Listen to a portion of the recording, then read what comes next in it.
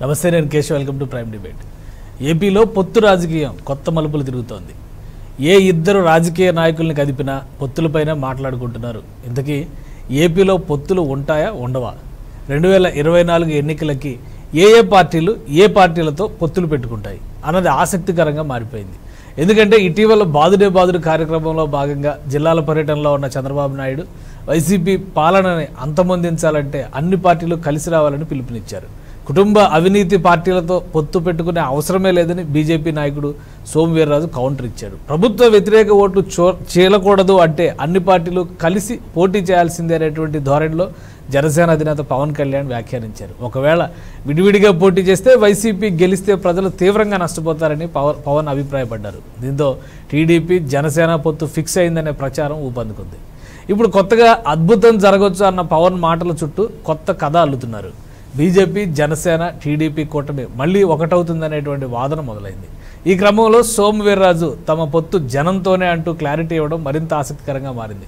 ఎవరు ఎవరితో కలుస్తారనేది గమ్మత్తుగా మారిన నేపథ్యంలో వామపక్షాలు మాత్రం తమదైన శైలిలో ఏపీలో ఆందోళనలతో ముందుకు దూసుకుపోతున్నాయి. ఈ అంశాలపైన ఇవాళ ప్రైమ్ డిబేట్ చూద్దాం. ఈరోజు డిబేట్లో పార్టిసిపేట్ చేస్తున్నారు కేఎస్ ప్రసాద్ గారు రాజకీయ విశ్లేషకులు అలానే జ్యోత్స్న గారు తెలుగుదేశం పార్టీ నాయకురాలు. కిరణ్ రాయల్ గారు జనసేన పార్టీ నాయకులు గోవింద్ రెడ్డి గారు వైసీపీ నాయకులు ఎమ్మెల్సీ. ముందుగా కిరణ్ రాయల్ గారితో మాట్లాడదు. కిరణ్ రాయల్ గారు కిరణ్ రాయల్ గారు ఏంటి ఈ స్టేట్మెంట్ సారాంశం ఏంటి?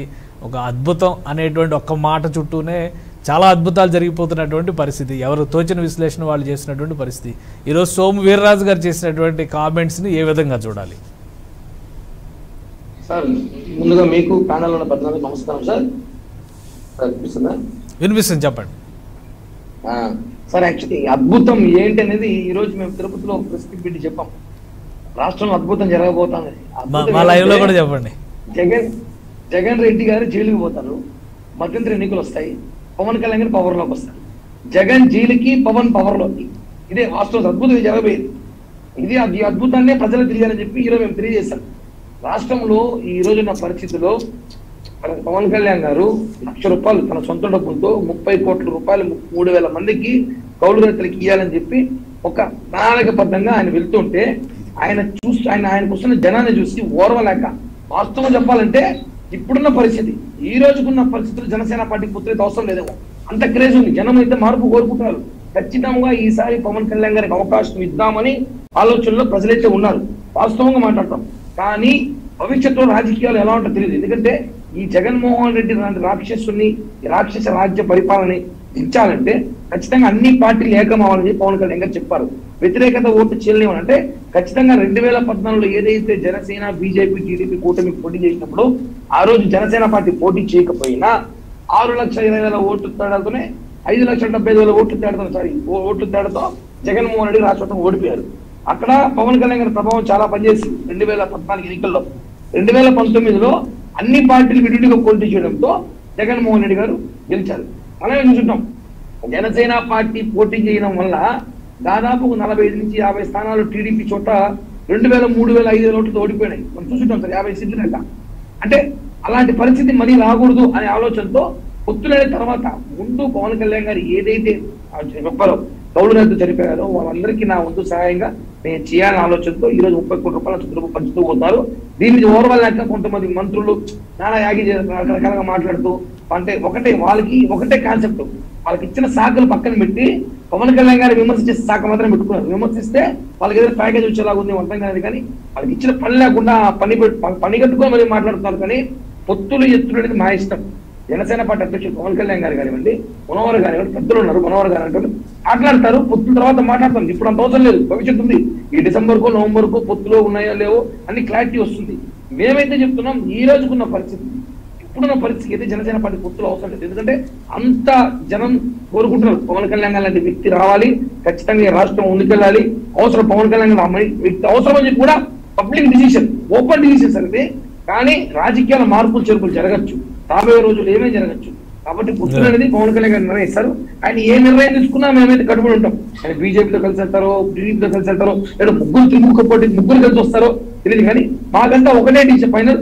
జగన్మోహన్ రెడ్డి ప్రభుత్వాన్ని గద్దదించాలి ఈ రాక్షస రాజ్యం ఈ రౌడీ పరిపాలన చేతగాని పరిపాలన దించాలంటే అందరూ కలవాల్సిన అవసరం ఉందని చెప్పినాడు కాబట్టి ఖచ్చితంగా పుత్రులైన మాత్రం ఉంటాయి.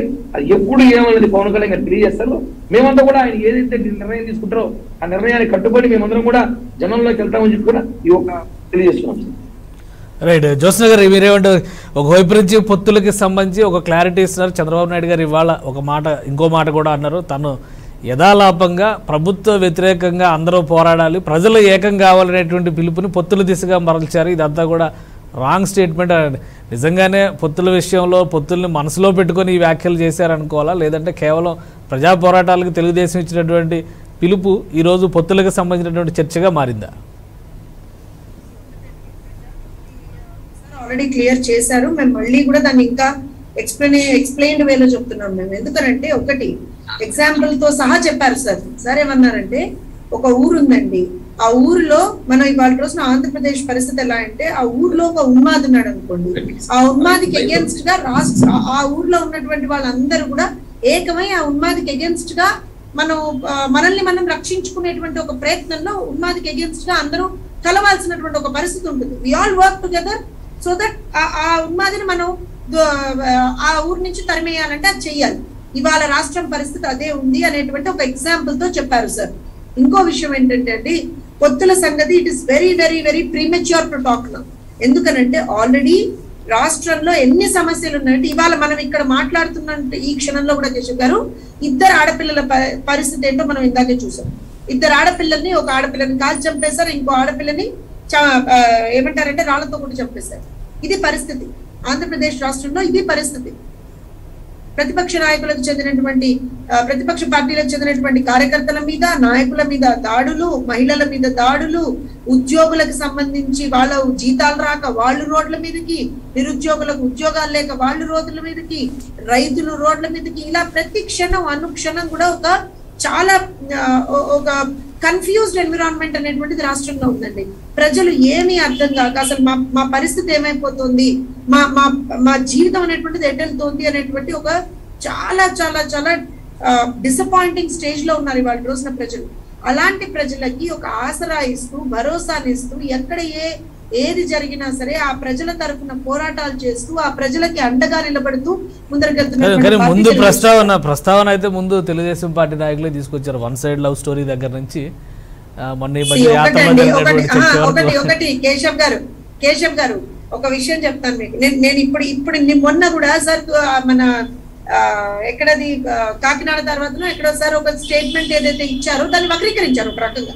ఆయన నేను చెప్పినటువంటి ఎగ్జాంపుల్ ఆయన చెప్తూ అందరూ ఊర్లో ఉన్నటువంటి వాళ్ళందరూ కలిసి రావాలి అంటే లేదు లేదు చంద్రబాబు నాయుడు గారు పొత్తులకి పిలుపునిచ్చేశారు అన్ని పార్టీల్ని కలిసి రమ్మంటున్నారు అన్నారు. సో డెఫినెట్గా ఒక స్టేట్మెంట్ అనేటువంటిది కాంటెక్స్చువల్గా అక్కడ ఉన్నటువంటి పరిస్థితులను బట్టి ఆయన మాట్లాడినప్పుడు దాన్ని ఏదో ఒక ఒక పర్టిక్యులర్ దీంట్లో తీసుకొస్తున్నారు. ఇప్పుడు నేను ఏం చెప్తున్నా అంటే అండి ఒకటి this is not the time to talk about alliances ఇది పొత్తుల గురించి మనం మాట్లాడే సమయం కాదు. రాష్ట్రంలో ప్రజలు నానా బాధలు పడుతున్నారు. ఏదైతే ముఖ్యమంత్రి గారు మొన్న ఒక స్టేట్మెంట్ ఇచ్చారు చూసారా? ఆడవాళ్ళ మీద అత్యాచారాలు జరుగుతున్నాయి అని అన్- ప్రతిపక్షాలు గగ్గోలు పెడుతుంటే నానా యాగి చేస్తున్నారు అన్నారు ఆడవాళ్ళ మీద అత్యాచారాలు నాకు నానా యాగిగా కనిపించాయి. దానికి సంబంధించింది. కానీ ఇవాళ రాష్ట్రంలో ప్రజలు పడుతున్నటువంటి ఇబ్బందులు ప్రజలు పడుతున్నటువంటి బాధలు అసలు ఈ ఈ ముఖ్యమంత్రికి ఎందుకు కనపడట్లేదో నాకు అర్థం కావట్లేదండి. ఇంత జరుగుతున్నా సరే నిమ్మకు నీరెత్తినట్టు కూర్చుని నేను చెప్పిందే వేదం నేను చేసేదే శాసనం అని చెప్పి ముందరికెళ్తున్నటువంటి ప్రభుత్వం వైఎస్ఆర్సీపీ ప్రభుత్వం. సరే ఇవాళ మనం ఏం మాట్లాడినా సరే ఒకటైతే ఖచ్చితం ఏంటంటే అండి ఇవాళ రోజున రాష్ట్రంలో ఈ వైఎస్ఆర్సీపీ ప్రభుత్వాన్ని మాత్రం దించేయాల్సినటువంటి పరిస్థితి. దానికి ఇంకొక టూ ఇంకొక ఇది లేదు. They have to get out లేకపోతే రాష్ట్రం ఆల్రెడీ మూడు సంవత్సరాల్లో మనం చూసాం సర్వనాశనం అయిపోయింది. ఇంకా అసలు అసలు ఏమంటారంటే మనకు అసలు there would be no Andhra Pradesh ఇలానే వీళ్ళని కనిపించే వీళ్ళని ఇలానే ముందరకు తీసుకెళ్తూ పోతూ ఉంటే అసలు ఆంధ్రప్రదేశ్ అంతరించిపోయేటువంటి ఒక పరిస్థితి ఏర్పడుతుంది. That is what is happening. Every day we are seeing మనం ఇలాంటి పరిస్థితుల్లో డెఫినెట్గా ఇప్పుడు పవన్ కళ్యాణ్ గారు మాట్లాడినా చంద్రబాబు నాయుడు గారు మాట్లాడినా ఒకటే మాట్లాడుతున్నారు. లేకపోతే ఇంకెవరు మాట్లాడినా సరే. ప్రభుత్వం ఏదైతే ప్రజా వ్యతిరేక విధానాలను అవలంబిస్తోందో ప్రజల్ని ఇబ్బందులు పెడుతోందో ఇబ్బందులకు గురి చేస్తోందో ఖచ్చితంగా ఈ ప్రభుత్వం దిగిపోవాల్సినటువంటి అవసరం ఉంది. ఆ ప్రభుత్వ వ్యతిరేక ఓటు ఏదైతే ఉందో అది చీలకుండా ఉంటే ప్రజలకి మంచిది అనేటువంటి ఒక భావన వ్యక్తం చేస్తున్నారు. అగైన్ అది అది పొత్తులకి దారి తీస్తుందా దారి తీయదా అవన్నీ సెకండరీ అండి. ఇవాళ అసలు అంత టైం ఎక్కడ Right. కేశవ్ గారు? పొద్దున్న లేస్తే రాత్రి వరకు ప్రజల్ని ఎలా కాపాడుకోవాలనే మేము చచ్చిపోతున్నాం. ఎక్కడ. ప్రజలకి పొద్దున్న లేస్తే రాత్రి వరకు ఒక్కొక్క ఇష్యూ కదా? ఇందులోనే మేము మేము ఇదిగా ఉంటే ఎక్కడి నుంచి కొత్తగా రాజకీయాలు ఎక్కడ మాట్లాడాలి మేము? పొత్తులు ఎక్కడ మాట్లాడాలి? ఏం చేయాలండి? అసలు ఆ దిశగా కూడా ఆలోచన చేసేటువంటి ఒక ఒక థాట్ కూడా ఎక్కడ రాదు. అంత దుర్మార్గం నడుస్తుంది ఆంధ్రప్రదేశ్లో ఇవాళ రోజున. రైట్ గోవిందరెడ్డి గారు ఆంధ్రప్రదేశ్లో దుర్మార్గం నడుస్తుంది. అలానే ప్రభుత్వం చేస్తున్నటువంటి పాలన వల్లనే అందరూ ఏకోన్ముఖం అయ్యి పోటీ చేయాల్సినటువంటి పరిస్థితి కనిపిస్తోంది. ప్రజలందరూ పోరాడితే కానీ ఈ ప్రభుత్వాన్ని కోల్దోయలేరు. ఏంటి ఇవన్నీ ఏంటి? ఈ స్టేట్మెంట్స్ అన్నీ వైసీపీ నాయకులు ఏ విధంగా చూస్తారు? అలానే పొత్తులకు సంబంధించి ఏ ప్రతిపక్ష నాయకులు ఏది మాట్లాడినా కానీ కొత్త ఇంటర్ప్రిటేషన్ వైసీపీ నాయకులే ఇస్తున్నారా?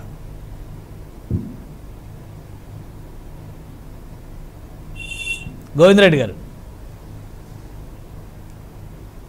రైట్ గోవిందరెడ్డి గారి లైవ్ ప్రాబ్లం ఉంది. మళ్ళీ మాట్లాడదాం. ప్రసాద్ గారు మీరు ఏమంటారు వన్ సైడ్ లవ్ ఎక్కడ స్టార్ట్ అయింది? అలానే ఇప్పుడు వస్తున్నటువంటి విశ్లేషణలు ఈరోజు చేసినటువంటి సోమవీర్రాజు గారి స్టేట్మెంట్ అందరూ అనవసరంగా యాగి చేస్తున్నారా? పొత్తులకు సంబంధించి తొందరపడి రెండేళ్ళ టైం ఉన్నా కానీ ముందుగానే ఈ అనవసరమైనటువంటి విశ్లేషణలు ఎవరి ఊహాగానాలకు వాళ్ళు మెరుగుపరుచుకుంటూ ప్రజల మీద వదిలేస్తున్నారా ఈ చర్చల్ని? ముందుగా నైన్ నైన్ టీవీ ప్రేక్షకులకు నమస్కారం అండి. అలాగే ప్యానల్లో ఉన్న పెద్దలకి మీకు కూడా నమస్తే అండి. ఇప్పుడు కొత్త ట్రాప్ ఏంటంటే పొత్తులు అన్న ఒక ట్రాప్కి గతంలో వీళ్ళ దత్తపుత్రుడు వాళ్ళు వాళ్ళ దత్తపుత్రుడు వీళ్ళని ఏదో అభియోగాలు మోపుకుంటున్న తరుణం నుంచి ఇవాళ ప్రత్యక్షంగా పొత్తులు అన్న దాని మీద అందరూ మాట్లాడుకునే అవకాశం సద్వినియోగం ఉపయోగించుకుంటున్న అపోజిషన్ పార్టీ. ఎందుకంటే బ్రహ్మాండంగా చూస్తున్నారు వాళ్ళు వేడుక చూస్తున్నట్టు చూస్తున్నారు. రెండోది రామ అన్నా సరే బూతుమాట కింద నిలబడుతున్న ఆంధ్రప్రదేశ్లో చంద్రబాబు నాయుడు గారు ఏమన్నారో అది వినకుండా వేరేది ఎవరికి నచ్చినట్టు వాళ్ళు పొత్తుల గురించి మాట్లాడుకుంటుంటే అన్నిటికీ తగుదనమ్మా అని ఇవాళ రంగప్రవేశం చేసి ఆయన ఉనికిని ఆయన బ్రహ్మాండంగా చాటుకుని ఆయన యొక్క పరిజ్ఞానాన్ని మళ్ళీ ప్రజలకి అందజేసిన సోమవీర్రాజు గారికి ధన్యవాదాలు. దాన్ని ఏ విధంగా చూడాలన్న దాంట్లో పవన్ కళ్యాణ్ గారు ఆయనంతటా ఆయనే నవ్వు ఆపుకోలేక నిన్న ఆయన భావోద్వేగానికి గురైన విధానం చూసుకుంటే ఎవరెవరు పొత్తుల్లో ఉన్నారు ఎవరి వలన ఎవరికి ఉపయోగపడుతున్నారు అన్న చూసుకున్న నేపథ్యాన్ని కనుక ముందుకు తీసుకెళ్తే ఇవాళ ఈ పొత్తులు ఇవన్నీ కాకుండా చంద్రబాబు నాయుడు గారు ఇచ్చిన పిలుపు ఏంటంటే పోరాటానికి సంఘటితంగా రమ్మని చెప్పారు. ఎందుకు? ఎక్కడైనా ఏదైనా జరిగిందని వెళ్తే రాళ్ళు ఇచ్చి కొట్టడానికి రాళ్ళు పెట్టుకుని నిలబడిన వాళ్ళని చూసాం. చంద్రబాబు నాయుడు గారికి లోకేష్ గారికి పో- పోలీస్ కేసులు పెట్టిన నేపథ్యాలు చూసాం కర్నూలు పరిసర ప్రాంతాల్లో. వీటిలన్నింటినీ అధిగమించడానికి నేను ముందు ఉంటాను. ఆ కష్టాల్లో నిష్ఠూరులో నేను ముందు పడతా. నా వెనకాల మీరు అందరూ సంఘటితంగా రండి. ఎందుకంటే వీళ్ళు ప్రతిదానికి ఒక అఖిలపక్షం రండి అఖిలపక్షం తీసుకెళ్ళండి అని చెప్తూ ఉంటారు కదా. అలా అఖిలపక్షం మొదలు బాబు ఈ పోరాటానికి ముందు నిలబడండి. ఎందుకంటే గతంలో ఆ సిపిఐ సిపిఎం పార్టీ వాళ్ళు ఉండేవారు. ఏమైనా అత్యధిక రేట్లు పెరిగినా పెట్రోల్ రేట్లు పెరిగినా అక్కడ పెట్రోల్ బంకుల ధర వాటి ధర ధర్నాలు కంటిన్యూస్ ప్రాసెస్లో చేస్తూ ఒక అవుట్కమ్ వచ్చేదాకా ఉండేది అది. ఇవాళ వీళ్ళు ఏంటంటే రోజుకొక ఎజెండా తేలుతున్న ఈ అపోజిషన్ పార్టీలకి ఇలా కాదు బాబు. ఎందుకంటే చూస్తున్నారు ఆయన కూడా. ఆయన వయసుకి డెబ్బై మూడు సంవత్సరాల వయసులో కూడా ఈ మండు టెండర్లో ముఖ్యంగా కత్తెరలు. మే నెలలో ఫస్ట్ వీక్ రోహిణి కత్తెరలు తర్వాత అశ్విని కత్తెరలు అని ఉంటాయి. ఇలాంటి కత్తెరలు కూడా భయం పడకుండా పెద్ద మనిషి వెళ్ళి చేస్తున్న దాన్ని ఒకసారి చూసుకుంటే పోరాటానికి నేను ముందు ఉంటాను. వయసుతో కూడా సంబంధం నేను ఉన్నాను వెనకాల రండి అని చెప్తున్నారు. అడప తడప వచ్చే వల్ల లేకపోతే పొత్తుల యొక్క ఆవశ్యకత తెలిసిన వాళ్ళ లేకపోతే నిరంతరం పోరాటం చేస్తున్నారా? లేకపోతే రోజుకొక విషయం మీద ఎక్కడ చూడండి భవన నిర్మాణ కార్మికుల దగ్గర నుంచి ఒక ఇష్యూతో మొదలై అవి ఇవాళ దాకా ఎన్ని సెలవుల పొలవలై ఎన్నెన్ని ఇష్యూస్ ఉన్నాయో స్టేట్లో అందరికీ తెలుసు. ఈ ఇష్యూస్ని ఎక్కడ చర్చిస్తామని చెప్పి ఇప్పుడు ఈ పొత్తు పొత్తులోన కొత్త చట్టం తీసుకొచ్చి నెత్తిమీ పెట్టారు. అసలు ఈ పొత్తులు చర్చ ఎందుకంటే రెండు సంవత్సరాలు జరగబోయే ఎలక్షన్కి ఈ మధ్యలో ఆయన ఇంకా నేను అన్ని శాఖల్ని సమర్థవంతంగా నిర్వర్తిస్తున్నందుకు మా సజ్జల రామకృష్ణారెడ్డి గారు కూడా వచ్చి ముందస్తు ఎన్నికలు రావచ్చు ప్రమాద గంటికలు ఉండొచ్చు. ఈ తుఫాన్ హెచ్చరిక కేంద్రంలో అనౌన్స్ చేసినట్టు ఒక హెచ్చరిక కూడా చేసి పోయాడు ఆయన. వీళ్ళు దానికి ఓ కాలు కొట్టేసుకుని నూట యాభై ఒక సీట్లు ఇచ్చారు. ఓకే? పరిపాలించమన్నారు. ముందస్తు ఎన్నికలు గెలిచారు పని మీరే గెలిచారు లేదా అపోజిషన్ పార్టీ గెలిచారు. ఈ అప్పులు ఈ పెనుభారాలు ఏటి మారిపోతాయి? చెప్పమనండి వీళ్ళ పార్టీలో ఎవరినైనా? ఈ అప్పులను తీసుకెళ్ళకుండా ఏడకెళ్తున్నారు అసలు ఏమైనా స్టాటిస్టిక్స్ తెలుసా? బడ్జెట్లో ఎవరైనా చూసారండి ఊరికే డిస్కషన్స్లో ఓ చెప్పేస్తున్నారు అందరూ యాడ్ నుంచి ఏడకెళ్తుంది రాష్ట్రం?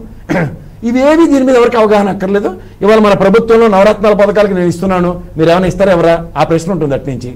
ఇవ్వరు కదా? కొన్ని పెన్షన్లు మీరు ఇచ్చిందే కదా. రెండు వేల రూపాయలు మీరు పెన్షన్లు ఇచ్చారు గత ప్రభుత్వంలో. ఈయన ముక్కుతో ములుగుతో మూడు వేలు చేస్తున్నాడు. మూడు వేల ఐదు వందలు ఇస్తారా? ఐదు వేలు ఇస్తారా? నాలుగు వేలు ఇస్తారా? చెప్పాలి కదా. తొంభై వేల కోట్లు గత ప్రభుత్వంలో చేతకాలేదు వాళ్ళు గ్రాంట్లు తెచ్చుకోవడం. ఈయన బ్రహ్మాండంగా దగ్గర దగ్గర తొంభై వేల కోట్లు ఈ మూడు సంవత్సరాల్లో తెచ్చాడు గ్రాంట్లు. గ్రాంట్లు అంటే అందరికీ తెలిసి ఇక్కడ నేను ఉన్న వాళ్ళకి పెద్దలకు నేను మళ్ళీ విశ్లేషించి చెప్పక్కర్లే. రూపాయి తిరిగి వెనక్కి ఇవ్వక్కర్లే. హ్యాపీగా తీసుకొచ్చి పబ్బాళ్ళు పంచుతున్నాడు. కార్పొరేషన్లు పెట్టారు. అప్పులు తీసుకొస్తున్నారు. ఈ అప్పులు తీసుకెళ్ళి ఎక్కడ తీసుకెళ్ళి ఏడేస్తున్నారంటే ఎవరినైనా ఎవరైనా అడగండి చూద్దాం చర్చించమని. భూముల రేట్ల కళ్ళ ముందు ఏ రేటుకి కొన్నారు? ఏ రేటుకి ప్రభుత్వ ఖజానా నుంచి తీసుకున్నారు? ఆ డబ్బులు ఉన్నాయి కదా అందరి దగ్గర? ఐదేసి నాలుగైదు లక్షలు తీసుకుని నలభై ఐదు లక్షలు ఎకరానికి తీసుకున్నది ఉన్నాయి లెక్కలు. చెప్పండి దాని మీద చర్చించమని ఎవరినైనా? ఎవరు అలాంటి చర్చలు పెట్టరు అలాంటి చర్చలు ఉండవు. ఓ అందరూ ఉద్యమాలు ఈ ప్రభుత్వం దీపాలు అన్యాయం అక్రమం ఇవన్నీ చెప్తున్నారు. నాలుగు లక్షల కోట్ల రిటైర్డ్ అయ్యేసి వాళ్ళకి పుస్తకాలు రాయడం సరదా కదా. ఎన్ని లక్షల కోట్లు అవినీతి జరిగిందో ఎన్ని లక్షల అప్పులకు వచ్చారో ఓ పుస్తకం రాయమనండి చూద్దాం. ఈ రిటైర్డ్ అయ్యేసి ఖాళీ తిరుగుతుంటారు కదా వాళ్ళు పిలిచి రాయమనండి. రాస్తారు కదా ఎన్ని అప్పులు వచ్చాయి ఏం చేశారనేది. దాని లెక్క ప్రకారం మాడదాం రెండు వేల పద్నాలుగుకి రాష్ట్ర ఖజానాకి మళ్ళీ చెప్తున్నాను లెక్క ఒకటి. రెండు లక్షల పద్దెనిమిది వేల కోట్లతో బడ్జెట్ రెండు లక్షల యాభై ఎనిమిది వేల కోట్లు.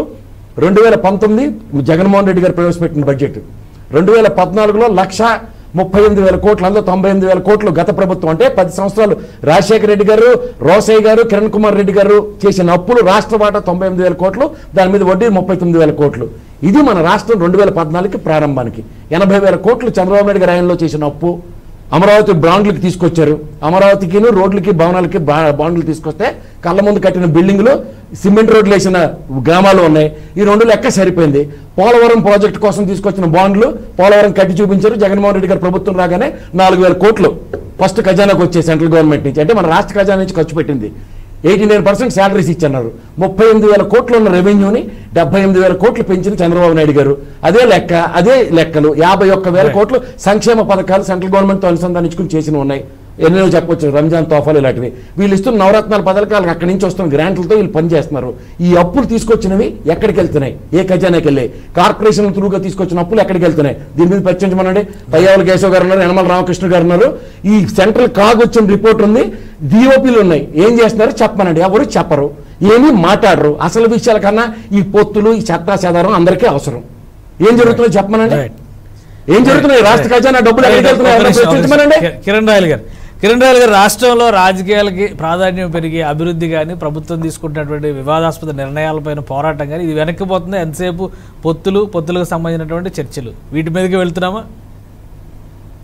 సార్ ఇప్పుడు పుత్రులు అనేది పక్కన పెట్టండి సార్. మేము పుత్రులు పెట్టుకుంటా పెట్టుకోము కానీ వైసీపీ నాయకులకైతే మాత్రము పెట్టుకోవాలా పెట్టుకోకూడదా? వాళ్ళని అడగాలి సార్. ఎందుకంటే ఒక్కొక్కరు ఒక స్టేట్మెంట్ ఇస్తారు ఒక్కొక్కరు ఒక కామెంట్ చేస్తారు. ఇప్పుడు కొడాలి నన్ను గారు కామెంట్ చేశారు. జస్ట్ ఇప్పుడే బ్రేకింగ్ వస్తుంది. పవన్ చంద్రబాబు పదవి కావాలి పవన్ కళ్యాణ్ డబ్బు కావాలి. పవన్ కళ్యాణ్ గారు డబ్బు కాసపడే కక్కుర్తుపడే వ్యక్తి కాదు మీలాగా అలా వాళ్ళు బుర్ర చేశారు మీరు కడుక్కుంటూ ఉన్నాడు కూర్చొని. వాళ్ళు బుర్ర చేశారు మీరు కడుక్కుంటూ ఉండండి అదే సార్ పవన్. కళ్యాణ్ గారు సినిమా తీస్తే. రెండు వందల కోట్లు వస్తుంది. సొంత డబ్బు ముప్పై కోట్లు. చూస్తారు ఆయన వచ్చే సినిమా డబ్బులో టెన్ పర్సెంట్ ట్యాక్స్ పోతే ఉన్న డబ్బుల్లో సగం డబ్బులు పైగా ఈరోజు ప్రజలకు ఏదో కార్యక్రమం మీద దాన ధర్మాలు కానివ్వండి సేవా కార్యక్రమాలు కానివ్వండి పార్టీ కార్యకలాపాలు కానివ్వండి దానికి పోతాంది.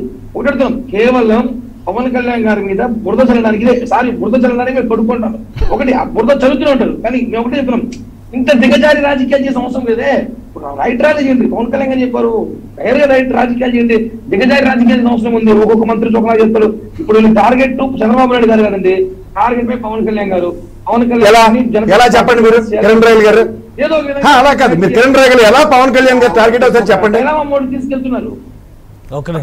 కంప్లీట్ కాదు మీకు పవన్ కళ్యాణ్ గారు టార్గెట్ అంటున్నారు. ఏ నేపథ్యంలో ఒకసారి చెప్పండి మీరు బీజేపీతో పొత్తులో ఉన్నారు కదా?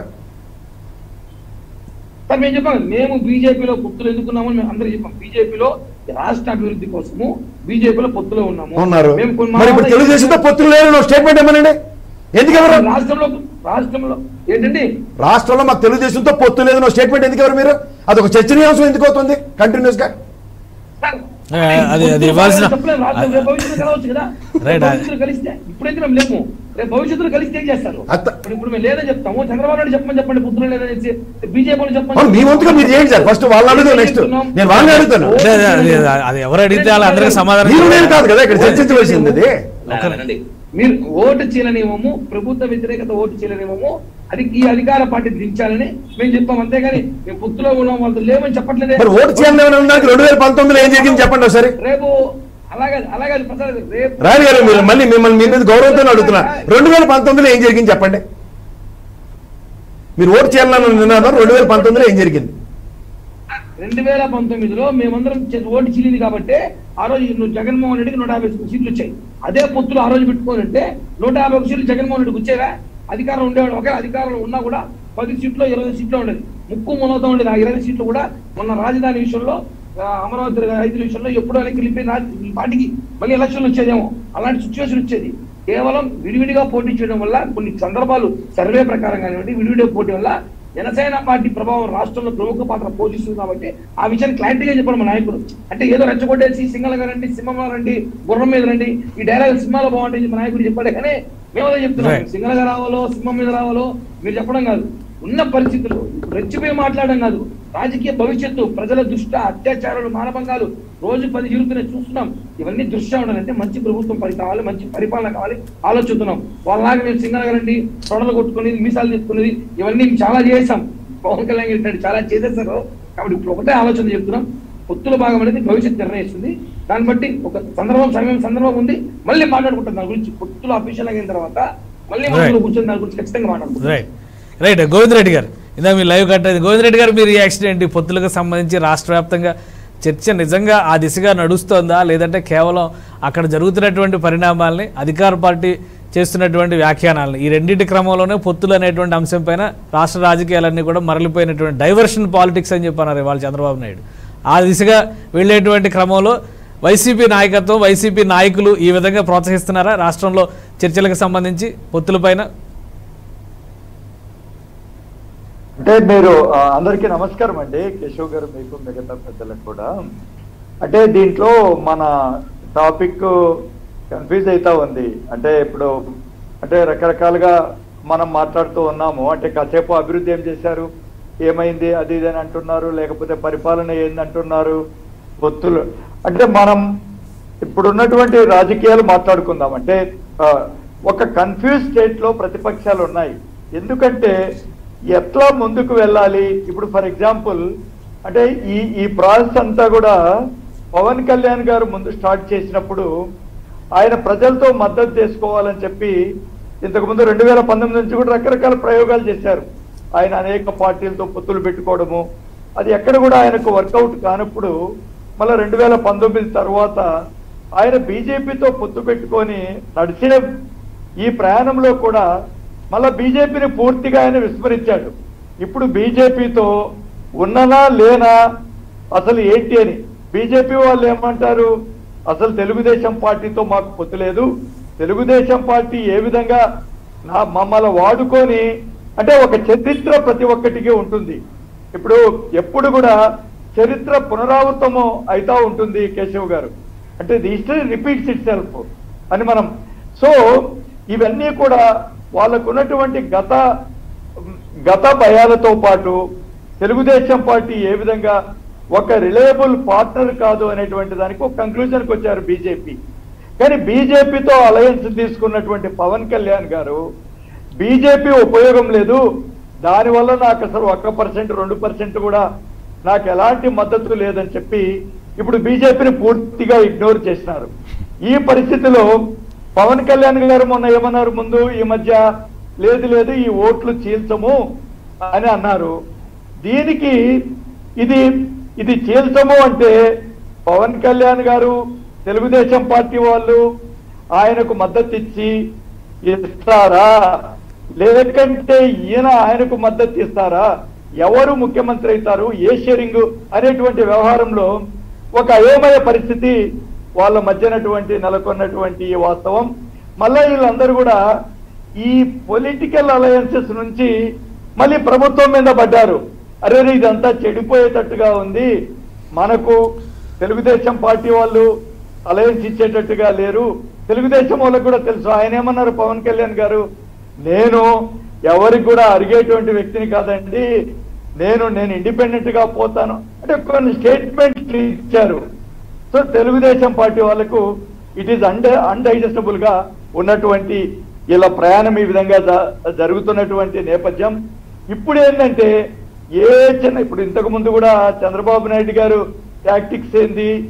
అంటే ఈయన పద్నాలుగేళ్ళు ముఖ్యమంత్రిగా ఉన్నప్పుడు ఎక్కడ కూడా ఏ హత్యలు కానీ లేకపోతే మానభంగాలు కానీ దోపిడీలు గాని ఏమీ లేదన్నట్టుగా ఒక పెద్దగా మాకు ఈ దుష్ట చతుష్టయం అనేది ఉంది చూసారా ఇది day in and day out ఈ వైఎస్ఆర్ కాంగ్రెస్ పార్టీ మీద విరుచుకుపడుతున్నటువంటి విషయం. ఈనాడు కేంద్ర ప్రభుత్వం కానీ నీతి ఆయోగ్ కానీ అనేక కమిటీలు కానీ మనం రోజు పేపర్లు చూస్తూ ఉంటాం. ఏ విధంగా వైఎస్ఆర్ కాంగ్రెస్ పార్టీ పరిపాలన ఎట్లా చేస్తా ఉంది అని చెప్పి. సార్ నేను ఎక్కడా ఏమీ జరగవు అని నేను చెప్పడం లేదు. సమాజంలో ఈవెన్ అమెరికాలో జరుగుతాయి ఇంగ్లాండ్లో జరుగుతాయి అనేక చోట్ల అనేక జరుగుతాయి.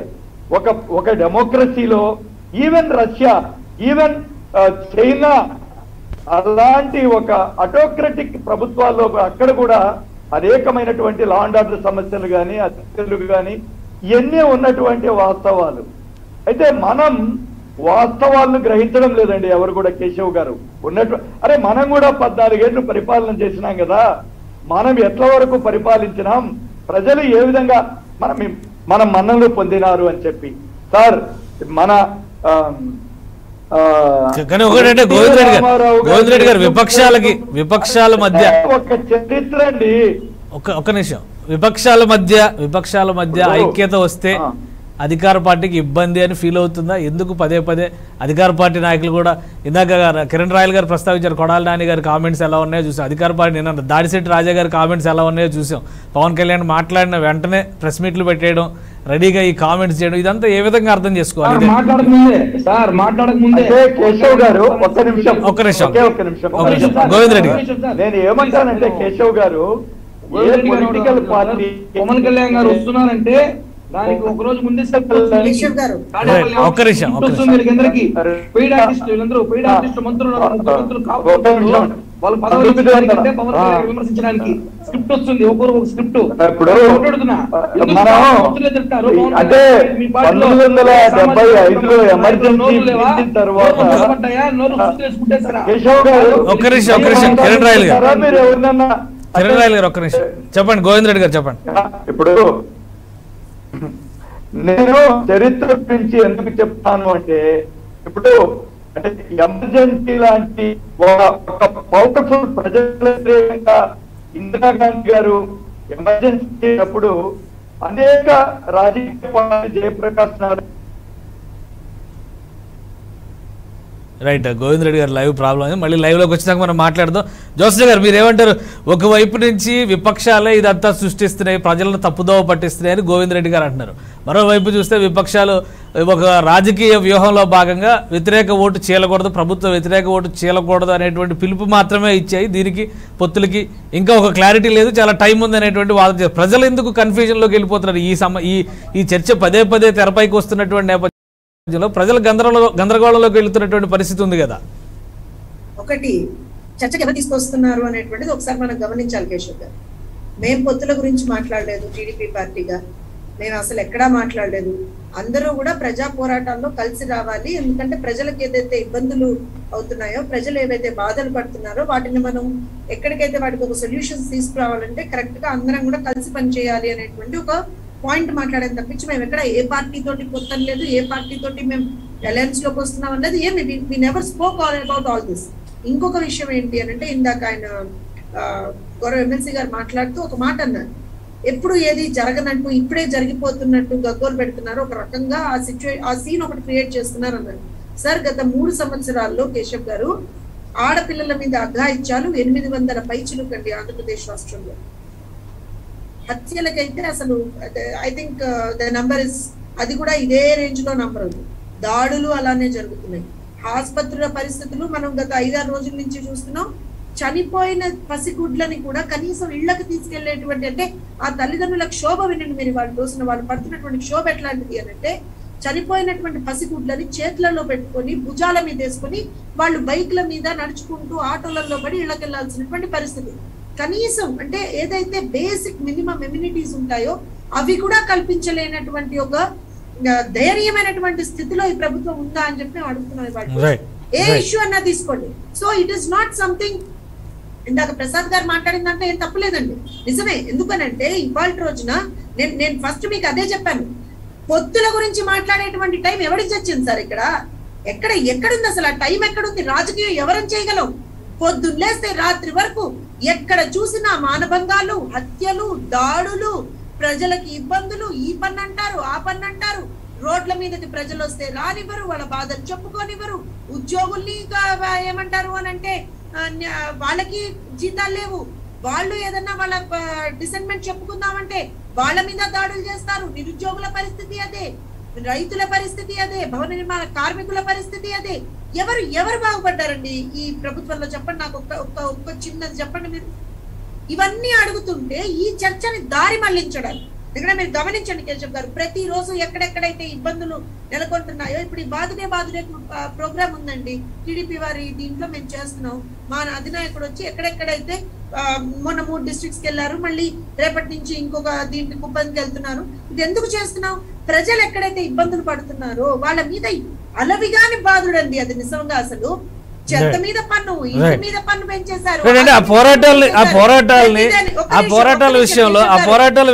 ప్రభుత్వాన్ని కట్టడి చేయడం మీద కాన్సన్ట్రేట్ చేయడం మానేసి విపక్షాలు ఏకం కావాలనే పిలుపులు కానీ రాజకీయ వ్యూహాలు రాజకీయ చిత్రతకు సంబంధించినటువంటి. వ్యాఖ్యానాలు మీరు- వీటిని ఏ విధంగా అర్థం చేసుకోవాలి మొత్తం త్రీ నేను అదే చెప్తున్నాను మొత్తం త్రీ డేస్ ఏదైతే శ్రీకాకుళం విజయనగరం తర్వాత మొన్న గోదావరి జిల్లాలో జరిగినటువంటి ఇది చూడండి మీరు ఎక్కడా కూడా సార్ అక్కడ ఉన్నటువంటి ప్రజల్ని అడుగుతూ వెళ్ళారు. ఏమ్మా ఇది పెరిగిందా పెరగలేదా ఇలా జరిగిందా జరగలేదా?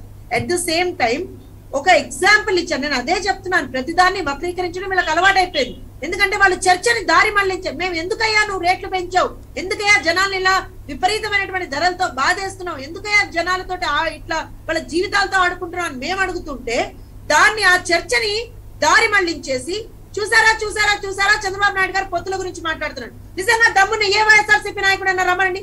నేను చర్చ కూర్చుంటా. ఎక్కడ మాట్లాడారండి మా నాయకుడు పొత్తుల గురించి? ఎక్కడ మాట్లాడారన్న ఆయన? ఒకటే చెప్పారు. పోరాటం ఏదైతే చేస్తున్నామో అందరూ కలిసి పోరాటం చేద్దాం. ప్రజల్ని కాపాడుకుందాం. ప్రజలకు ఒక మంచి జీవనాన్ని మనం కల్పిద్దాం. వాళ్ళకి ఎక్కడెక్కడైతే ఇబ్బందులు కల్పిస్తున్నారో ఆ ఇబ్బందుల్ని దూరం చేద్దాం. ఇది కదా మా నాయకుడు చెప్పింది. దాన్ని ఎందుకు వక్రీకరిస్తారు వీళ్ళు? చర్చను. ఎందుకు దారి మళ్ళిస్తారు దమ్ముంటే చర్చ కూర్చొని ఏవైతే ప్రజలకు ఇబ్బందులు జరుగుతున్నాయో వాటి మీద చర్చిద్దాం. మీరు ఎనిమిది వందల పైచులకు ఆడపిల్లల మీద అఘాయిత్యాలు జరిగితే మీ ప్రభుత్వం ఏం కార్యాచరణ తీసుకుందండి? ఒక్క సమీక్ష లేదు. కేశవ్ గారు. డిపార్ట్మెంట్ నుంచి ఒక్క సమీక్ష లేదు. మహిళా కమిషన్ నుంచి ఒక్క సమీక్ష లేదు. Women and child welfare department ministry ఏదైతే ఉందో వాళ్ళ నుంచి ఒక్క ఒక్క సమీక్ష లేదు. వీళ్ళంటి మాట్లాడేది పాలన గురించి వీళ్ళంటి రాష్ట్రంలో ఆడపిల్లల గురించి మాట్లాడేది రాష్ట్రంలో జరుగుతున్నటువంటి వివిధ అంశాల మీద మాట్లాడేటువంటి దమ్ము ధైర్యం లేక ప్రతిపక్షాల మీద కూడా ఏడిస్తున్నారు వీళ్ళు వాళ్ళ రోజున. ఇంతకు మించి ఇంకేం చెప్పాలి? రైట్ ఒక నిమిషం. ప్రసాద్ గారు ఎవరు డైవర్షన్ పాలిటిక్స్ చేస్తున్నారు? అసలు ప్రజలు కూడా అయోమయంలోకి వెళ్ళేటువంటి పరిస్థితి. ప్రజా సమస్యల మీద పోరాటం చేస్తున్నాయి విపక్షాలు లేదా విపక్షాలే డైవర్షన్ పాలిటిక్స్ బీజం వేస్తున్నాయి. అధికార పార్టీ నాయకులు చెప్తున్నట్టుగా వాళ్ళు ఎప్పుడూ కూడా రాజకీయాల గురించి మాట్లాడలేదు. అభివృద్ధి కార్యక్రమాల గురించే మాట్లాడుతున్నారనే వాదనను ఒప్పుకోవచ్చా? వాళ్ళు అభివృద్ధి తప్ప ఇంకేం చేయకుండా ఉన్నప్పుడు అపోజిషన్ పార్టీలు ఏవిపైనా చర్చిస్తారు అన్న దాంట్లో వచ్చినప్పుడు ఇలాంటి పొత్తులు పనికిమాలిన విషయాలని చర్చించేలా చేస్తున్నారు. అంతకుమించి ఇంకేం లేదు దీంట్లో. క్లియర్గా తెలుస్తుంది ఏంటంటే ఏదైతే రెండు సంవత్సరాల తర్వాత జరగబోయే ఎలక్షన్స్కి ఈ రోజు నుంచి పొత్తులేటండి నాకు అర్థం కాదు. ఇన్ని మీకున్న అనుభవంలో మేము అసలు చెప్పడానికే లేదు అసలు. మీరు మమ్మల్ని అడగకూడదు అసలు. ఎవరైనా ఏ రాజకీయ పార్టీ అయినా ఎలక్షన్ ముందు ఇక్కడ ఉన్న ఈ వృద్ధ జంపుకాలు తీసి అవతలేయడానికో లేకపోతే లేదా అవతలలో యువతల నెత్తి మీద వేయడానికో ఒక పొత్తులు ఉన్నవి గతంలో చూసాం మనం. అంతకు మించి ఇంకేం ఉండదు. వీళ్ళకి ఎవరికి ఒక లీడర్లను ఎమర్జ్ చేసుకుని పొద్దు నుంచి తయారు చేసుకున్న వాళ్ళకి నలభై యాభై సంవత్సరాల పార్టీ లెగసీ ఉన్న పార్టీకి ఎక్కడి నుంచి తీసుకొస్తారు? వాళ్ళకేం అవసరం లేదు కదా.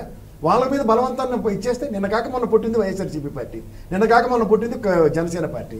ఈ రెండు పార్టీలకి పొత్తులు అవసరం అవసరం లేదంటే ఒకళ్ళేమో ఏం చెప్తున్నారు? అరే మేము సింహాల ఆటలో సింగిల్గా ఫైట్ చేస్తాం. వీళ్ళేంటి? పార్టీ ఆవిర్భావం నుంచి ఎవరో ఒకరితో సిపిఐతోనో సిపిఎంతోనో ఎందుకంటే ప్రజా వ్యతిరేకతని అపోజిషన్ పార్టీలన్నీ ఏకతాటి మీద ఉంటాయన్న కాన్సెప్ట్ వీళ్ళు డ్రైవ్ అవుతున్నారు. దీనికి ఇవాళ అతీతంగా మీకు పొత్తులు అలవాటు ఉంది కాబట్టి వీళ్ళు తీసుకెళ్ళి బలవంతం మీరు నెత్తిమీ పెట్టుకోండి అని వాళ్ళని తీసుకొచ్చి వీళ్ళు నెత్తిమీ పెట్టి బాబు మేము ఇంకా బీజేపీతో మేము వెళ్ళలేదురా బాబు వాళ్ళు మేము బాగానే ఉన్నాం అంటే వీళ్ళ అధినాయకులు అందరూ వచ్చి ఎక్స్ప్లెనేషన్ ఇచ్చుకుంటారు. సోమవీరాజు అధినాయకుడే కదా? ఎంత కాదన్నా? ఆయన వచ్చి ఎక్స్ప్లెనేషన్ ఇచ్చుకుంటాడు కదా? ఇలాంటి ట్రాప్లో వీళ్ళని పెట్టి వీళ్ళ వీళ్ళు చర్చించుకుంటుంటే అసలు విషయాలు పోయి ఇప్పుడు బాదుడే బాదుడే ఏదో కార్యక్రమం మొదలెట్టారు కదా. ఓ జనసేనలో తట్టడు మట్టి తీసుకెళ్ళేసారు కదా గోతుల్లో నాట్లోను? అవన్నీ పక్కదారి పెట్టించాలంటే ముందు పొత్తులెట్టి వెళ్ళాలి ఇద్దరికి. ఈ పొత్తులు పెట్టేస్తే ఏమవుతుందంటే వీళ్ళకి డెబ్బై స్థానాల్లో వాళ్ళు ఎవరో ఏటో ఉనికే తెలియని వాళ్ళు గెలిచారు ఈసారి నూట యాభై ఒకటిలో. మొన్న గెలిచిన సీట్లో అరవై ఎనిమిది స్థానాలు ఈ జనసేన తెలుగుదేశం ఇండిపెండెంట్గా గెలవడం వల్ల ముక్కుతూ మూలుగుతూ ఐదు వేల ఓట్ల లోపునే మెజారిటీతో గెలిచిన అరవై ఎనిమిది స్థానాలు ఉన్నాయి. ఈ రెండిట్లో నూట డెబ్బై నూట యాభై ఒకటికి లెక్క చేసిపోయింది కదా. డెబ్బై మంది ముక్కు ముఖం తెలియని వాళ్ళు ఎవరో కూడా ఎవరికి తెలియదు. ఈ అరవై ఎనిమిది మంది గెలిచిన వాళ్ళు ఎవరు ఈ జనసేన తెలుగుదేశం పొత్తు విడిపోతుంది వీళ్ళిద్దరూ కలిసిపోయారు అనుకోండి. కలవనివ్వంది బీజేపీ. కలవనివ్వదు అది. ఎందుకంటే నాదెండ్ల మనోహర్ గారు గోపెట్ల నాన్నగారు బీజేపీలో కూర్చోబెట్టుకుంటున్నారు ఆయన ఎట్టి పరిస్థితుల్లో బీజేపీలోంచి ఆయన బయటకు రానివ్వడు. ఆ కబంధ హస్తలు. ఎందుకంటే ఆ ఫ్యాక్ట్ ఫైండింగ్ కమిటీలో ఎప్పుడైతే ప్రశ్నించడానికి ఆయన నడుము బిగించడు ఈ రిటైర్ అయిపోయిన వాళ్ళందరినీ తీసుకెళ్ళి లెక్కలేయించారు కదా. లెక్కలేయించిన తర్వాత డెబ్బై ఎనిమిది వేల కోట్ల పైచీలకి నిజంగా మనకి వివక్షకు గురైంది అన్న దగ్గర టక్కన ఈ శంకరెత్తుకుని తీసుకెళ్ళిపోయారు పవన్ కళ్యాణ్ గారిని. ఎందుకంటే రాష్ట్రంలో ఏ పరిస్థితి ఉన్నా ప్రశ్నించే గలం అయిందే. ఇంకా అక్కడి నుంచి ప్రశ్నలు లేవు. ప్రశ్న లేకుండా ఎంతసేపు? ఈ కోతాట అనమాట అందరూ మైక్ ఇవ్వడం పాపం వైఎస్ఆర్సీపీని హలో అని తిట్టడం. వైఎస్ఆర్సీపీ వాళ్ళు దిగానే ఆ లావు వేస్తారు ఎలా ఉంటుంది? మొదట ఒక సెంటెన్స్ మాడతారు నెక్స్ట్ ఇమీడియట్ సెంటెన్స్లో చంద్రబాబు నాయుడు గారు వైఎస్ఆర్సీపీ. దాంట్లో మాత్రం మా గోవింద్ రెడ్డి గారికి ఎక్సెప్షన్ ఆయన పెద్ద ఆయన ఆయన విజ్ఞతతో ఎప్పుడూ ఇలాంటి మాటలు మాట్లాడలేదు. అంచేత నేను ఆయన గురించి నేను మాట్లాడట్లేదు. మిగిలిన వాళ్ళు ఎవరికైనా సరే ఆవు వ్యాసాన్ని బ్రహ్మాండంగా రిపీట్ చేస్తారు. చూసుకోమనండి. ఇందులో ఏమవుతుందంటే అపోజిషన్ పార్టీలు ప్రజల పక్షాన్ని నిలబడి ఏదైనా ఒక మాట ఎత్తుకుందాం అనగానే వాళ్ళకు ఒక టాస్క్ ఇస్తున్నారు. Perfect task manager Jaganmohan Reddy garu. ఆ టాస్క్ వీళ్ళు జీవితాంతం బురదలు కడుక్కొని మాకేం తెలియదు మాకేం తెలియదు గాబరా పడ్డం తప్ప. ఇంకేం ఉండదు వాళ్ళకి. రైట్ రైట్ గోవింద్ రెడ్డి గారు ఏం చెప్తారు? అధికారంలో ఉన్నటువంటి పార్టీ విపక్షాలందరికీ కూడా ఈ బంధాలు అనుబంధాలు లేదా పొత్తులు ఇవన్నిటిని కూడా అంటగట్టేటువంటి కార్యక్రమం నడుస్తుంది. ఆ-. టాస్క్ ఇచ్చేటువంటి కార్యక్రమం జరుగుతుంది అధికార పార్టీ వైపు నుంచి. అందుకే ఈ చర్చ ఎక్కడ ఆగట్లేదు. ఫుల్ స్టాప్ అయితే ఉండట్లా కంటిన్యూ అయితే అవుతూనే ఉంది. అదే అంటే ప్రసాద్ గారు అన్నట్టుగా ఈ ఒక పెద్ద కన్ఫ్యూజన్లో ఉన్నారు ఈ ప్రతిపక్షాలు. ఇప్పుడు ఏదో ఒకటి day in and day out Jaganmohan Reddy గారిని అంటే వాళ్ళకంతా అసూయ ద్వేషము పగ ప- ప- పక్షపాతము ఇది తప్ప ఇది నాది ఇప్పుడు. అంటే నేను దిస్ ఈజ్ మై అజెండా ప్రజలకు నేను ఇది ఆల్టర్నేట్ అజెండా ఈ విధంగా ఉంది. ఇప్పుడు చంద్రబాబు నాయుడు గారికి ఒక రికార్డు ఉంది. అంటే పవన్ కళ్యాణ్ గారికి ఇంకా ఆయన అధికారంలో రాలేదు. ఆయన ఏదో ఆయన తిప్పలు పడుతున్నారు అనుకోండి అది వేరే విషయం. మా ఆల్టర్నేట్ అజెండా ఇది. మా మా మా సామాజిక ఇది మేము చేసేటువంటి పనులు ఇది మా ఆర్థిక విధానం ఇది మా మా యొక్క పరిపాలనా విధానం ఇది మీరిదో ఇక్కడ ఫెయిల్ అవుతున్నారు. ఇది నేను ఆల్టర్నేట్ చెప్తున్నాను. ఇది తప్ప ఇప్పుడు ఆ మేడం చెప్తా ఉన్నారు. అమ్మా ఇవన్నీ కూడా ఇప్పుడు ఇది సమాజానికి సంబంధించిన వ్యవహారం. మీరు సమాజంలో చంద్రబాబు నాయుడు కారంలో మనమంతా రికార్డు తీద్దాం. ఆయన రెండు వేల పద్నాలుగు నుంచి రికార్డు తీద్దాం. మనం ఒక సపరేట్ డిబేట్ పెట్టండి కేశవ్ గారు. ఎన్ని మానభంగాలు జరిగినాయి ఎన్ని హత్యలు జరిగినాయి ఎన్ని రాజకీయంగా ఏమేమి జరిగినాయి ప్రతి ఒక్కటి మనం చెప్దాం. అభివృద్ధి ఏ విధంగా జరిగింది అనేటువంటిది మనం సపరేట్ చర్చ పెడదాం. మనము ఒక ఒక జరిగినటువంటి ఏదైనా కూడా ఒక ఒక హత్య కానీ లేకపోతే ఏ జరిగిన తర్వాత దాన్ని ఎంత ఎఫెక్టివ్గా హ్యాండిల్ చేస్తున్నాము అనేటువంటి వ్యవహారం. సార్ కేశవ్ గారు ఒకప్పుడు రెండు వందల రోజులు కూడా షార్ట్ షీట్ అయినటువంటి పరిస్థితుల్లో ఈనాడు ఇరవై రోజుల్లో షార్ట్ షీట్ వేస్తున్నారండి. మీరు తెలుసుకోండి. ఈనాడు యాభై ఒక్క రోజుల్లో న్యాయం ఇవ్వాలండి. నిర్భయ కేసు అయితే మధ్యప్రదేశ్లో ఇరవై ఒక్క రోజుల్లో ఉరేశారు ఆ రమ్య కేసుకి తొమ్మిది నెలలు పట్టింది. మీరు ప్రసాద్ గారు మన వ్యవస్థలో ప్రజాస్వామ్యంలో మేము షార్ట్ షీట్ వేసేంత వరకే కానీ దాన్ని ఎఫెక్టివ్గా కోర్టులు డిస్పోజ్ చేయడానికి నిర్భయ కేసు కనుక పెడితే first non bailable non bailable case అయితే ఫస్ట్ ఛార్జ్ షీట్ ఫెయిల్ చేసి తీరాలి. అందుకని సత్వర న్యాయం కోసం అవును దేశం సార్. అంతా నిర్భయ చట్టాన్ని ప్రవేశపెట్టింది. మీరు ఈ దిశ చట్టాన్ని తీసుకొచ్చి దశ లేదు దీనికి. మాకు దిశ నిర్దేశించబడట్లేదు దాంట్లో. అందుకని.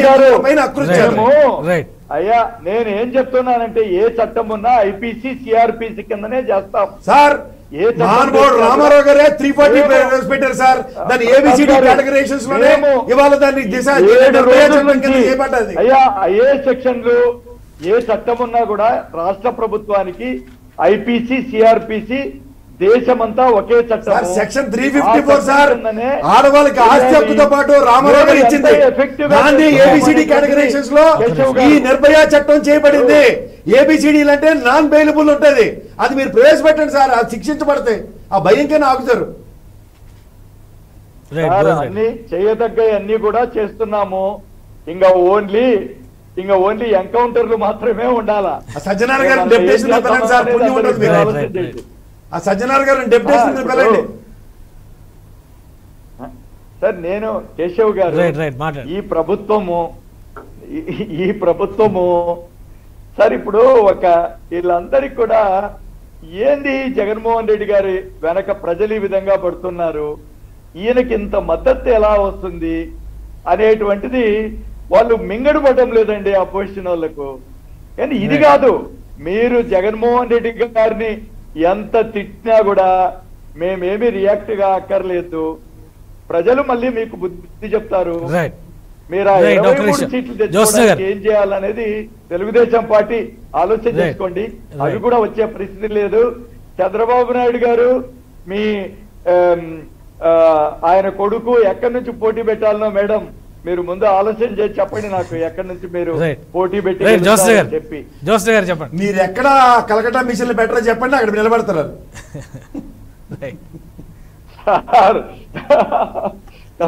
మిషన్లు. రైట్ జోస్ గారు జోస్ గారు మాట్లాడు. ఆడియో మ్యూట్ అయినట్టు ఉంది జోస్ గారు చెప్పండి చెప్పండి. ఆ, వినిపిస్తుంది చెప్పండి. నేను ఏమంటున్నా అంటే కేశవ్ గారు ఏ ఏ కాన్స్టిట్యున్సీలో ఎవరెవరు క్యాండిడేట్లు గా నిలబడతారు అనేటువంటిది అది పార్టీ విషయం అది. దట్ హెస్ గాట్ ఇప్పుడు వైఎస్ఆర్సీపీ వాళ్ళకి దానికి సంబంధం లేదు. నేను అడిగే సూటి ప్రశ్న ఒకటే. ఇన్ని సంవత్సరాల్లో మీరు అధికారంలోకి వచ్చిన మూడేళ్ళలో ఇన్ని ఇన్సిడెంట్స్ జరిగాయి కదా. మీరు మీ ప్రభుత్వం ఏ ఏ విధమైనటువంటి ఒక ఒక రోడ్ మ్యాప్ ఏం తీసుకున్నారు? ఇంకా ఫర్దర్గా జరగకుండా ఉండడానికి రోడ్ మ్యాప్ ఏం తీసుకున్నారు? ఎన్ని సమీక్షలు చేశారు. మహిళా కమిషన్ ఎన్ని కేసులు? ఒక్క నిమిషం నిమిషం. సార్. నేను నేను కంప్లీట్ చేయనివ్వండి. మహిళా కమిషన్ ఎన్ని కేసుల్ని చాలా కేసుల్ని దే షుడ్ హావ్ టేకెన్ సుమోటోలు ఇవ్వండి. దట్ ఈస్ అ ఫ్యాక్ట్ అసలు. సుమోటోగా వాళ్ళు చాలా కేసులు తీసుకోవాలి. ఎన్ని కేసుల్ని వాళ్ళు తీసుకున్నారు? ఎన్ని కేసుల్లో సమన్లు ఇష్యూ చేశారు? ఎన్ని కేసుల్లో వాళ్ళు రిపోర్ట్లు అడిగారు? మహిళా కమిషన్ అనేటువంటిది ఒకటి ఉంది కదా ఆంధ్రప్రదేశ్ రాష్ట్రంలో. అలానే వాళ్ళు పని చేయనివ్వట్లేదు కదా అదే కదా జ్యోత్స్న గారు ఒక్క నిమిషం వాళ్ళు పని సార్, చేయ- ఒక్క ఆయన నిమిషం, పని చేయనివ్వట్లేదు కేశవ్ గారు, ఇప్పుడు కేశవ్ గారు, వాసిరెడ్డి పద్మ గారు నోటీసులు ఇస్తే మీ నాయకులు రామంటున్నారు కదా. విచారణకి. కేశవ్ గారు మీ అదృష్టమా మా అదృష్టమే చాలా మూడేళ్ళ తర్వాత మొన్న కనపడ్డారు మాకు వాసిరెడ్డి పద్మ గారు మొన్న కనపడ్డారు సార్. ఊరుకోండి జాతీయ మహిళా. కమిషన్ వచ్చి వాయినం తీసుకెళ్ళిపోయింది అమరావతి రైతుల మీద ఉన్నప్పుడు. అదే చెప్తున్నాను సార్ మూడేళ్ళ నుంచి కనపడిన ఆవిడ ఇవాళ కనపడ్డారు. నేను ఇప్పటికే ఉన్నాను ఒకటే. చాలా గౌరవంగా అడుగుతున్నాను. ఈ మూడు సంవత్సరాల్లో ఎన్ని కేసుల్ని మహిళా కమిషన్ టేకప్ చేసింది? ఎన్ని కేసులకు వాళ్ళకి న్యాయం చేయగలిగింది? రికార్డ్ ఉందా వాళ్ళ దగ్గర? సెకండ్ థింగ్ ఎన్నిసార్లు women and child welfare department ministry వాళ్ళు ఏదైతే ఉన్నారో వాళ్ళు ఎన్నిసార్లు సమీక్షా సమావేశాలు పెట్టుకున్నారు? ఎంత మందికి ఎక్కడెక్కడైతే ఇబ్బందులు జరిగాయో ఎంత మంది బాధితుల్ని మీరు పరామర్శించగలిగారు? వాళ్ళకి ఎందుకంటే చాలా చోట్ల. ఎస్సీ రైట్ టాపిక్ డైవర్ట్ అయిపోతుంది. గారు. జోస్ గారు టాపిక్ డైవర్ట్ అయిపోతుంది. కంప్లీట్ అంటే లేదు లేదు. కేశవ్ గారు ఒక్క నిమిషం ఇది ఇదే ఈ డైవర్షన్స్ వద్దనే ఈ డైవర్షన్స్ వద్దనే చంద్రబాబు నాయుడు గారు. చెప్పింది. ఈ డైవర్షన్స్. వద్దనే చంద్రబాబు నాయుడు గారు చెప్పింది. చర్చ సార్ ఇది చర్చ. ఇది కావాలి సార్. రాష్ట్రానికి ఇది కావాలి. ఆడపిల్లలుగా మాకు ఇది కావాలి. పొత్తులు ఎవరికి కావాలి సార్ ఇవాళ రోజున? ఆయన వచ్చి అడుగుతున్నారు కదా, ఇది కాదు సార్ మాకు కావాల్సింది.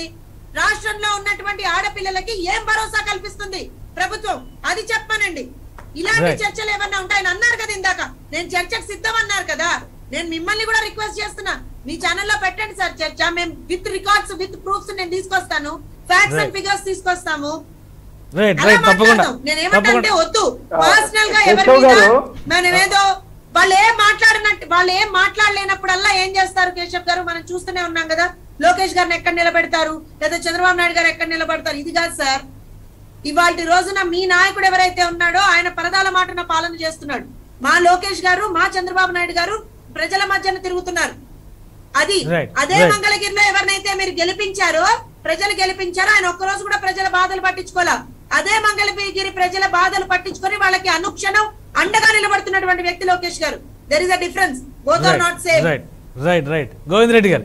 Govind Reddy గారు సమాధానం చెప్తారా? రాష్ట్రంలో అరాచకాలు. రాష్ట్రంలో అరాచకాలు జరగడానికి. కారణం ప్రభుత్వ వైఫల్యం అనేటువంటి విమర్శకు మీరు ఇచ్చే సమాధానం ఏంటి? కేశవ్ గారు. చెప్పండి. భారతదేశం ఉండేటువంటి బీజేపీ ప్రభుత్వం మా ప్రభుత్వం కాదు కదా సార్. మాకేమీ లేదు కదా. భారతదేశం ఇచ్చినటువంటి గణాంకాలు కానీ లేకంటే నీతి ఆయోగ్ ఇచ్చినటువంటి గణాంకాలు కానీ లేకంటే కేంద్ర ప్రభుత్వంలో ఉండేటువంటి అనేక సంస్థలు ఉన్నటువంటి రికార్డుల్లో ఈనాడు best law and order situation ఆంధ్రప్రదేశ్లో ఉంది. ఒకప్పుడు మహారాష్ట్రలో ఉండేది. ఈనాడు సార్ మీరు సమైక్య ఆంధ్రప్రదేశ్ గురించి చెప్తున్నారు సార్. ఇప్పుడు నేను మనము ఒకసారి ఎస్ నేను ఇటంటే కూడా చర్చకు సిద్ధం ఇప్పుడు ఆ. మేడం చెప్తున్నారు కదా ఇక్కడ మేము మేము దిశా చట్టంలో తెచ్చి ఏ మహిళకి ఏమి జరిగినా కూడా ఏడు రోజుల్లో చర్చకు. సిద్ధం? కేశవ్ గారు ఎప్పుడు.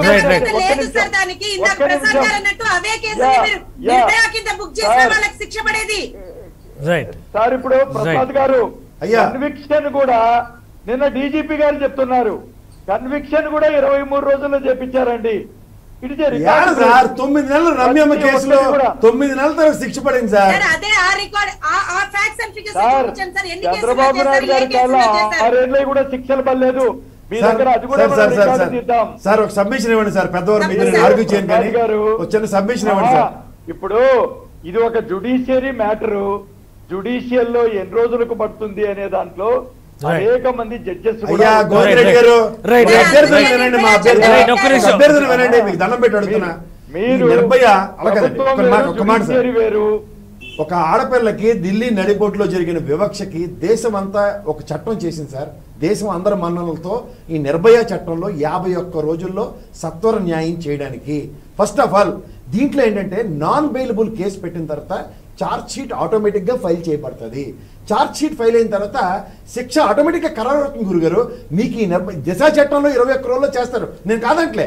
కానీ అది చట్టబద్ధత అయిన తర్వాత మీరు చెప్పిందని నేను ఒప్పుకుంటా. అంతవరకు ఈ ఆడపిల్లలను పరిరక్షించడానికి శిరస్సు వంచి వేడుకుంటున్నాను. ఈ నిర్భయ చట్టం కేసులు పెట్టండి సార్. పుణ్యం. యాభై ఒక్క రోజుల్లో జరుగుతుంది. సార్ ఇప్పుడు మనం నిర్భయ చట్టం కింద గాని ఇది గాని అంటే మీరు దిశా చట్టం ఇంకా రాలేదు అని అంటున్నారు. అవునండి. అయినా కూడా ప్రతి కేసులో కూడా ప్రతి ఛార్జ్ షీట్ వేయదు. కానీ కానీ ఒక్క ఒక్క నిమిషం ఒక్క నిమిషం ఒక్క నిమిషం గోవింద్ రెడ్డి గారు టాపిక్ మొత్తం డైవర్ట్ అవుతుంది. ఒక రిక్వెస్ట్ ఒక రిక్వెస్ట్ గోవింద్ రెడ్డి గారు. గోవింద్ రెడ్డి గారు రాష్ట్రంలో అరాచక పాలన నడుస్తోంది. దీన్ని పడదోయాలంటే కనుక విపక్షాలన్నీ కలవాలి. ఇదే కదా ఈరోజు ఇచ్చినటువంటి పిలుపు విపక్ష నాయకులు ఇచ్చినటువంటి పిలుపు కానీ జనసేన అని చెప్పినటువంటి మాట కానీ అలాగే బీజేపీ నాయకులు చెప్తున్న మాట కూడా అదే. ఏ రకంగా చూసినా కానీ ప్రభుత్వం చేసినటువంటి ప్రతి నిర్ణయంలోనూ ప్రతి అంశంలోనూ వివాదాస్పదం అవుతున్నటువంటి పరిస్థితి కనిపిస్తుందనే విమర్శలు చాలా బలంగా వస్తున్నాయి. వీటికి ప్రభుత్వం ఏం సమాధానం చెప్తుంది? వ్యక్తిగతమైనటువంటి ఆరోపణలు కాకుండా సమస్యల పరిష్కారం రూపంలో ప్రభుత్వం చెప్పేటువంటి సమాధానం ఏంటి? సార్ ఇప్పుడు కేశవ్ గారు మేము రాజకీయంగా అవి రాజకీయ పార్టీలు. భారతదేశంలో మీరు ఏ రాష్ట్రంలో కానీ దేశంలో కానీ ఏ రాజకీయ పార్టీలు కూడా అలయన్స్ లేకపోతే పొత్తులు లేకపోతే ముఖ్యంగా మేము మేము ఏ రాజకీయ పార్టీతో కూడా మాకు ఎలాంటి ట్రక్కింగ్ లేదు. న్యాచురల్గా వాళ్ళందరూ కూడా క్లెయిమ్ చేసేటప్పుడు మాకు విరుద్ధంగానే మాట్లాడతారు తప్ప ఎక్కడ కూడా మాకు మా మమ్మల్ని గురించి పాజిటివ్గా ఎందుకు మాట్లాడతారు? వాళ్ళందరూ ఇంట్లో కూర్చొని మాట్లాడుకుంటారు. చాలా బాగా జరుగుతుంది. జగనన్న మనకు మనము అనేటువంటిది వాళ్ళు కానీ బయటకు వచ్చిన తర్వాత వాళ్ళు ఖచ్చితంగా మీ మీడియాలో కానీ పేపర్లో కానీ వాళ్ళని న్యాచురల్గా మాకు విరుద్ధంగానే మాట్లాడతారు. కానీ ఎవరము ఏది మాట్లాడినా కూడా ఆందోళన చెందుతుందా? అధికార పార్టీ. ఆందోళన చెందుతుందా? అధికార పార్టీ విపక్షాల ఐక్యతా రాగం విన్న తర్వాత ఆందోళన చెందుతుందా? ఎందుకు ఈ చర్చ పదే పదే జరుగుతుంది? అక్కర్లేదు సార్. అంటే మేము కొన్ని మేము కూడా ఒక political party naturally why question. అంటే మీరు కేవలము మేమందరం కలుచుతాము ఓట్లు మేము చీలిపోకుండా చేస్తామన్నప్పుడు మీకు సారూప్యత లేనటువంటి మీరు ఇలాంటి అలయన్స్లో మీరు దేనికోసం? మీదో మీకు ఒక అజెండా ఉండాలి. ఈవెన్ ఎన్డీఏ గాని మిగతా దేశంలో కూడా కూటములు ఏర్పడ్డాయి కానీ వాళ్ళందరికీ కూడా వాళ్ళు మినిమం ప్రోగ్రామ్ అది అది కూడా పెట్టుకున్నారు వాళ్ళు ఒక ఏ విధంగా ఒక పరిపాలన చేయడానికి. ఏమీ లేకుండా యా మినిమం కామన్ ప్రోగ్రామ్ అనేటువంటిది పెట్టుకొని దానికి కూడా ఒక కన్వీనర్గా మరి అన్ని మీరే డిసైడ్ వాళ్ళ- చేసింది సార్. ఇంకేముంది? అన్ని మీరే ఇవన్నీ నాకు లేకుండా. ఇప్పుడు సోనియా గాంధీ ఇప్పుడు మిగతా ఎక్కడ తెలంగాణ ఉద్యమ టైంలో టీఆర్ఎస్ పార్టీ జానారెడ్డి గారు అన్ని చేసినట్టు? మీరు చేసేయండి. రైట్ రైట్ కేశవ్ గారు వీళ్ళకి ఏమీ లేకుండా వాళ్ళకి ఏంటంటే ఆ, జగన్ హటావో ఏ ఒకే ఏకైక లక్ష్యం అంతే.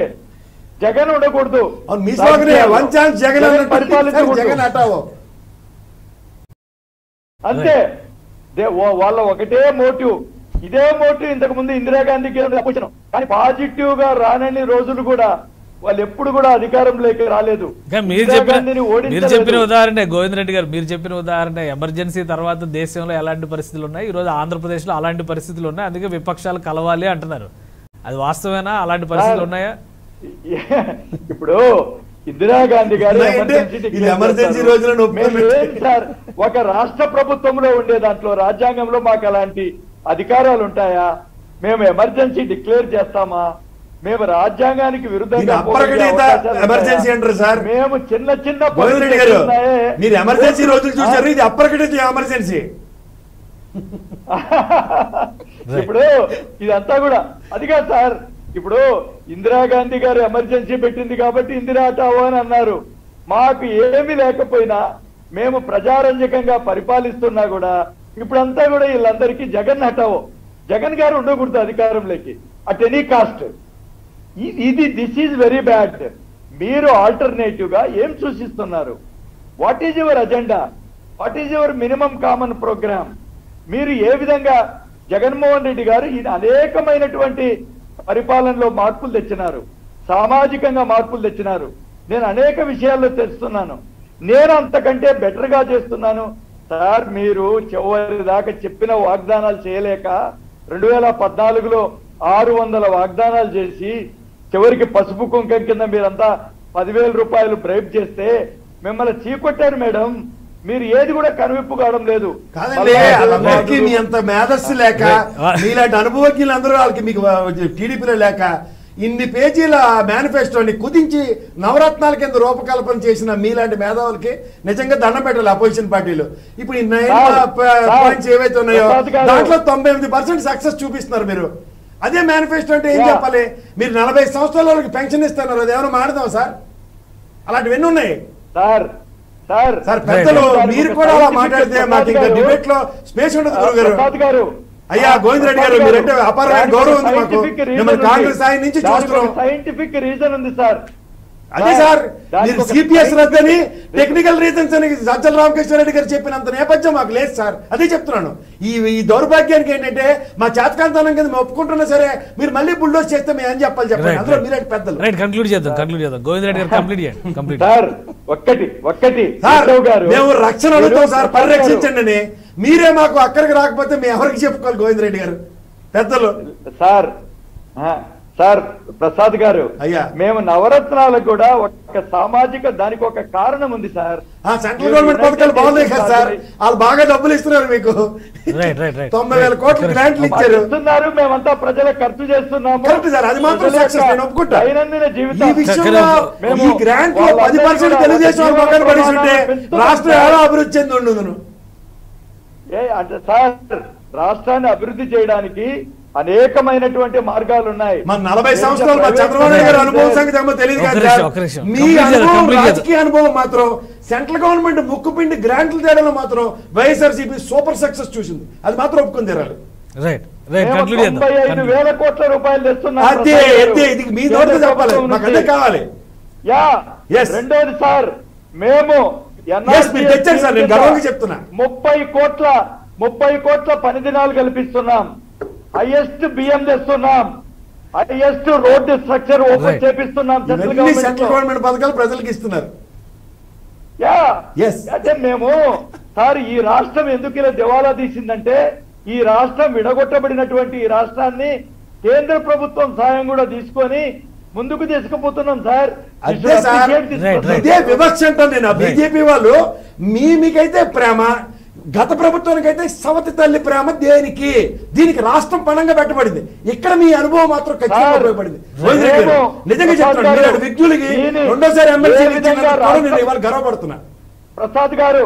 కేంద్ర ప్రభుత్వం నుంచి ఇంత పెద్ద ఎత్తున నిధులు గాని సాయం గాని తీసుకురావడానికి మేము ఏ విధంగా ప్రొజెక్ట్ చేస్తున్నాం ఏ విధంగా అవసరాలు ఉన్నాయి ఏ విధంగా కేంద్ర ప్రభుత్వంతో మంచిగా ఉండాలనేటువంటి కూడా మా ముఖ్యమంత్రి. రాష్ట్ర ప్రయోజనాలు పరిరక్షించడానికి ఈ మంచితనం అనేది ఏమైనా పాచిక సార్? మనం ఏం ఫెడరల్ సిస్టంలో లేవా అంటే వాళ్ళకి నచ్చిన వాళ్ళకైతే గ్రాంట్లు ఇస్తారా? నచ్చకపోతే వివక్షకు గురి చేస్తారా? ఒక నిమిషం బీజేపీ బీజేపీ. నాయకులు ఎవరు లేరు కాబట్టి ఆ టాపిక్ మనం సపరేట్గా ఈ చెప్తున్నాను. సబ్జెక్ట్ ఈ బడ్జెట్ల మీద ఎవరికి అవగాహన లేక మా గోవింద్ రెడ్డి గారు నిజంగా బ్రహ్మాండమైన మాటలు చెప్పారు. ఇది ప్రజల్ని. Right right thank you Govind Reddy garu Jyotsna garu అలాగే ప్రసాద్ గారు కిరణ్ రాయల్ గారు కూడా ధన్యవాదాలు. ఇది ఆంధ్రప్రదేశ్లో విపక్షాలు చెబుతున్నట్టుగా అరాచక పాలన నడుస్తోంది కాబట్టి అన్ని పార్టీలు ఏకమైనా కానీ ప్రభుత్వాన్ని మార్చాల్సినటువంటి అవసరం ఉంది అనేటువంటి వాదన ఎక్కువగా వినిపిస్తుంది. కానీ అధికార పార్టీ మాత్రం చాలా క్లారిటీతో ఉన్నటువంటి పరిస్థితి. రాబోయే రోజుల్లో ఒంటరిగానే ప్రజల్లోకి వెళ్తాం అనేటువంటి వాదన వినిపిస్తుంది. ఇక విపక్షాలు ఇచ్చినటువంటి పిలుపు ఒక లాంగ్ మార్చ్గా కనిపిస్తుంది. రెండేళ్ళ పాటు రాబోయే రాజకీయాలు పొత్తుల చుట్టూనే తిరిగేటువంటి అవకాశం కూడా కనిపిస్తుంది. ఇది ఇవాళ ప్రైమ్ డిబేట్. Keep watching.